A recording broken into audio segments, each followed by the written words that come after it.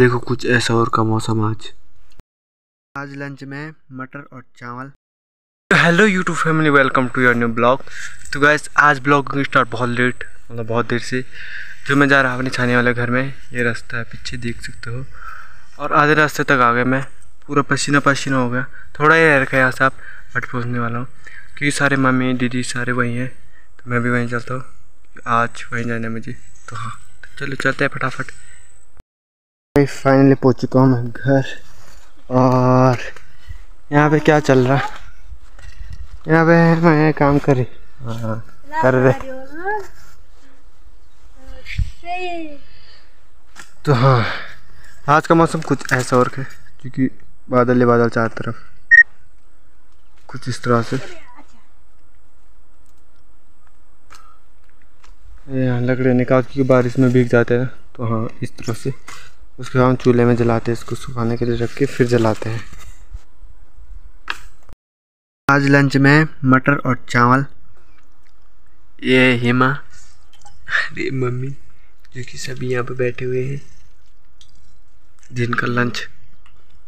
तो फटाफट खाते हैं, फिर मिलते हैं आप लोगों के साथ।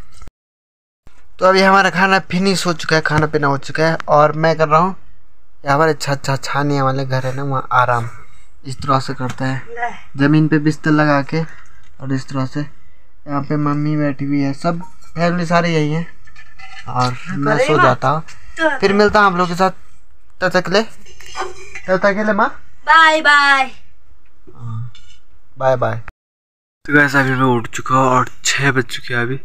अब बाहर देखो ना बारिश लगी हुई है बारिश। बहुत ज़्यादा मौसम पूरा बारिश लगी हुई है। आप लोगों को दिखाता हूँ। चलो। देखो कुछ ऐसा और का मौसम आज। मैं तो अंदर बैठा हुआ हूँ। इस साइड भी देखो। और इस साइड भी देख सकते हो।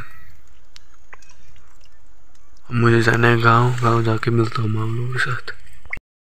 तो गैस अभी हो चुकी है रात, शाम हो चुकी है और मैं करता हूँ इस ब्लॉग को यहीं पे एंड क्योंकि आज जो मैंने ब्लॉग बनाया, छोटा सा बना, ज़्यादा कुछ नहीं, क्योंकि जब मैं वहाँ से नीचे आया तो आते आते मेरे को अंधेरा हो चुका था। इसलिए मैंने ब्लॉग नहीं बनाया क्योंकि मेरे पास जो कुछ सामान था तो इसलिए मैं उस वजह से ब्लॉग नहीं बना पाया। तो हाँ तो मैं इस ब्लॉग को करता हूँ एंड आई होप कि आप लोगों को आज का ब्लॉग पसंद आया। ब्लॉग पसंद है तो लाइक करें, जो भी चैनल पर नए हैं, सब्सक्राइब करें। मिलते हैं नेक्स्ट ब्लॉग में, तब तक के लिए बाय बाय।